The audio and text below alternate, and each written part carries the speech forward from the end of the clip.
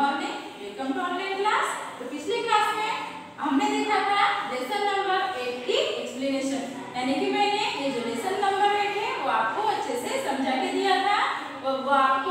समझ में भी आया होगा। समझ में आया ना? तो अभी आज की क्लास में हम देखते हैं लेसन नंबर एट का पढ़िए समझिए और लिखिए ओके तो पढ़िए समझिए और लिखिए में क्या है वो देखने के लिए आपको निकालना पड़ेगा अपनी हिंदी की टेक्स्ट बुक का पेज नंबर 26 सबने पेज नंबर 26 निकाला चलो अभी अच्छे से ध्यान दो ओके तो देखो पढ़िए समझिए और लिखिए में क्या है राघव और राधिका प्रातः छह बजे उठते हैं राघव एंड राधिका नाम के दो भाई बहन हैं जो सुबह सुबह छह बजे उठते हैं तो ये पहले वाले सेंटेंस में यानी कि ये फ़र्स्ट वाले वाक्य में हमें दो ऐसे शब्द मिले जहाँ पे आहा की ध्वनि इसकी ध्वनि है आहा की ध्वनि कौन से कौन से प्रातः एंड सेकंड वाला है छ। तो प्रातः का मतलब क्या होता है? सुबह सुबह। एंड छ का मतलब क्या होता है? छह वो तो आपको पता है है ना? आगे देखो। वे दोनों प्रातः से जाते हैं। वो दोनों, यानी कि दोनों भाई बहन सुबह सुबह घूमने के लिए जाते हैं, ओके? उसके बाद देखो। वे पाठशाला के लिए स्वतः तैयार हो जाते हैं वो जब पाठशाला जाते हैं तो वो किसी की भी हेल्प नहीं लेते वो खुद ही अपनी तैयारी मतलब खुद ही तैयार हो जाते हैं तो यहाँ पे फिर से हमें एक शब्द मिला है वो है स्वतः स्वतः यानी कि खुद मिला है स्वतः का मतलब क्या होता है वो खुद उसके बाद देखो पाठशाला जाते समय वे माँ को नमहा करते हैं जब वो पाठशाला जाते हैं तो वो खुद ही अपनी तैयारी करते हैं उसके साथ साथ जब वो पाठशाला में जाते हैं तो जाने से पहले वो अपनी माँ को नमा करते हैं। नमा करना यानी कि क्या हुआ? नमन करना, आशीर्वाद लेना, वंदन करना। ओके, समझ में आया? नमन, वंदन, आशीर्वाद, ये जो शब्द है, उनको हम नमा बोलते हैं। नमा, समझ में आया?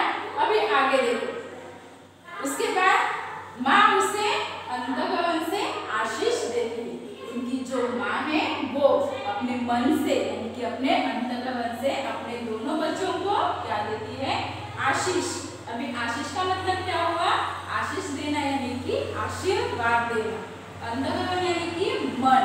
देखो यहाँ पे अंतकरण है तो अंतकरण से यानी कि अपने मन से वो आशीर्वाद देती है कौन राघव एंड राधिका की माँ आगे देखो राघव प्राय टिफ़िन भूल जाता है राघव नाम का जो लड़का है उसको भूलने की आदत होती है और इसीलिए वो क्या करता है सुबह को मतलब पहले ही वो अपना टिफ़िन जो है वो भूल जाता है तो आपको इन शब्दों के मीनिंग अच्छे से समझ में आए क्या?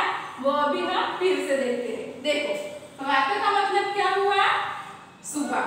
क्योंकि राघव एंड राधिका जो है, वो सुबह सुबह छह बजे उठते थे तो सुबह ओके? उसके बाद देखो, नमा करने यानी कि वंदन करना, आशीर्वाद देना, ओके? उसके बाद क्या है? स्वता। स्वता का मतलब होता है खुद। हम खुद बोलते हैं मी माई सेल्फ ये है स्वता, यानी कि खुद। उसके बाद क्या है? अंतकरण अभी अंतकरण का मतलब क्या होता है? अपनी आत्मा से, अपने मन से। अंतकरण यानी कि अपना, अपनी आत्मा, अपना मन। ओके?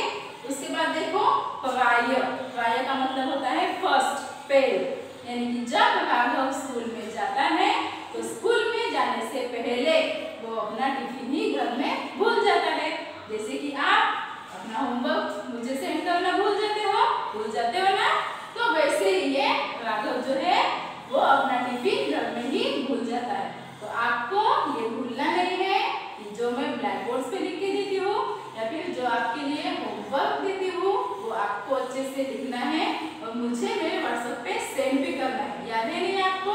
तो अभी एक बात देखो, कि ये जो आहा की ध्वनि यानी कि आहा से बनने वाले जो शब्द है तो वो कैसे बनते हैं? यानी कि ये जो आहा की ध्वनि है, ये जो दो डॉट्स है, उनको भी एक शब्द है। यानी कि ये बस ऐसे डॉट्स नहीं बोलते, उनको हम ये जो दो डॉट्स है उनको हम बोलते हैं विसर्ग चिन्ह कौन सा चिन्ह है ये वो विसर्ग चिन्ह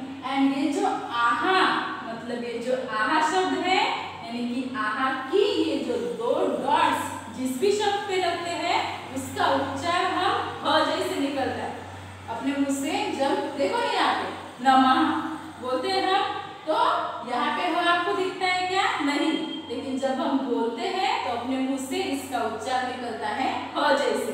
जैसे फॉर एग्ज़ाम्पल मैंने अभी आपको बताया, नमः, छ निकलता है वैसे। तो ये आपको अच्छे से ध्यान में रखना है।